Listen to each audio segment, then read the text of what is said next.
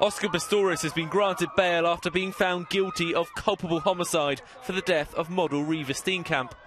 He's due to be sentenced on October the 13th and could face up to 15 years in prison.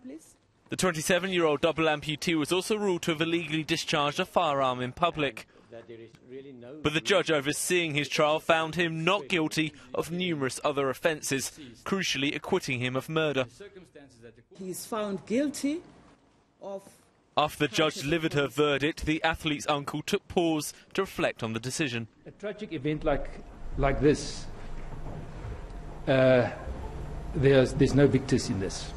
We as a family remain deeply infected by, by the devastating tragedy event. And, and it won't bring Reeva back, but our hearts still go out for her family and friends. God willing. Reeva Steenkamp was killed on Valentine's Day 2013. Pistorius has long maintained he shot her, believing she was an intruder.